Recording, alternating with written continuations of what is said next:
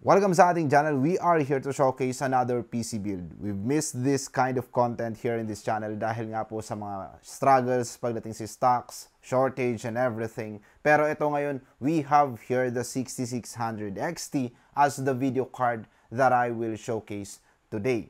With this PC build na ginawa po natin dahil uh, ayun, gusto lang natin maiba naman ng konti. anyway, we have here the Techwear Fusion. It is one of the bang for the buck. Babagay siya dito sa 6600 XT, a bang for the buck video card that is uh, quite odd dahil yung counterpart niya pagdating sa pricing is the 1660 Super ng competing brand.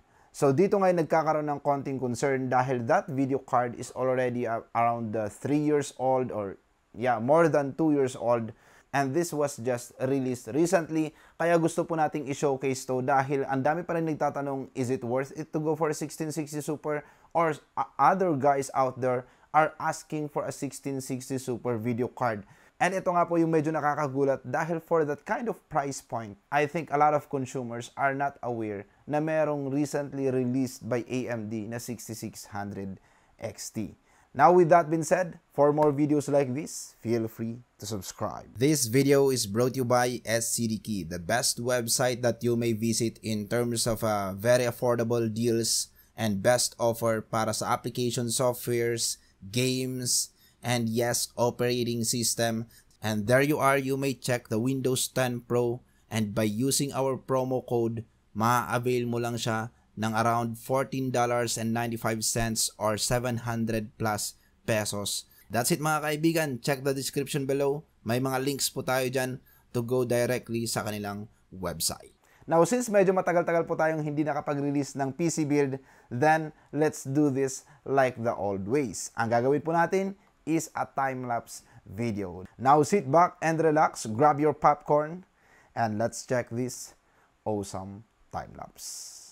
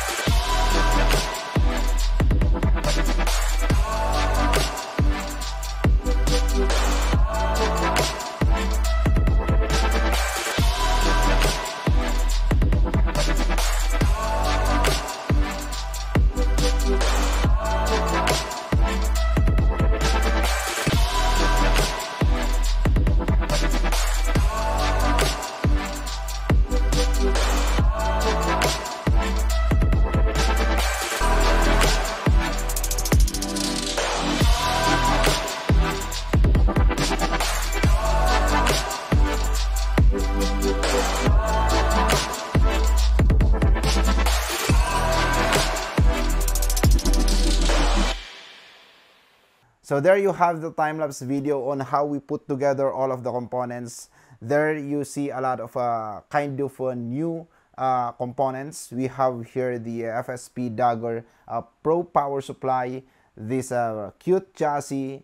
Uh, sa mga hindi pa po aware, there is a bang for the buck chassis that comes with this uh, mini ITX build pero pwede rin po siya sa micro ATX if you are confused dahil most of the uh, consumers uh, yung awareness natin pagdating sa mga ganitong chassis pwede lang mag-fit ang mini ITX pero uh, wag kayo dahil pagdating sa TechWare Fusion pwede rin pong mag-install or compatible po siya sa micro ATX and at the same time first time here in this channel masisilip nyo po ang one of the mostly reviewed or kumbaga sobrang ganda ng review niya with other uh, international uh, tech reviewers especially the one of the most critical uh, tech reviewers sa Gamer Nexus yung ating Scythe Mugen 5. So ayun, first time in this channel. Pero huwag kayong mag-alala dahil on a separate video, talagang magfo-focus tayo pagdating sa benchmark ng ating Scythe Mugen 5. Also, it will be included sa ating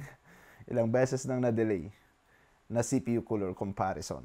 Now let's go back to the main component ng ating video. This is the Power Color RX 6600 XT. For those guys out there na hindi pa masyadong aware pagdating sa brand na Power Color, actually they are one of the uh, uh, mostly recommended uh, brand here in the Philippines in the past years. Kaso nga lang recently medyo nagkaroon ng konting uh, slowdown pagdating sa kanilang products dahil medyo hindi ganun ka-active ang kanilang marketing or maybe medyo hindi ganun din karami yung ini-stock ng kanilang distributor. Pero eto ngayon, the 6600 XT is really one of the go-to uh, video card that you may choose, especially at a 25k to 30k plus more or less price point. Going back to the reason why I really want to talk about or showcase the 6600 XT is yun nga po, walang masyadong competition at this kind of price point. Dahil if uh, there is a video card out there na at that uh, 25k to 30k more or less, most likely, even sa competitor, those are the 2 to 3 years old video cards na kumbaga sobrang outdated na and even uh, with the driver updates, uh, it's quite far inferior or if uh, it's close uh, enough to compete with the 6600 XT is still uh, inferior po sila pagdating sa performance especially that they comes with this uh, GDDR5 and uh, compared to this na mas efficient with a more powerful uh, um, output at a GDDR6 bandwidth.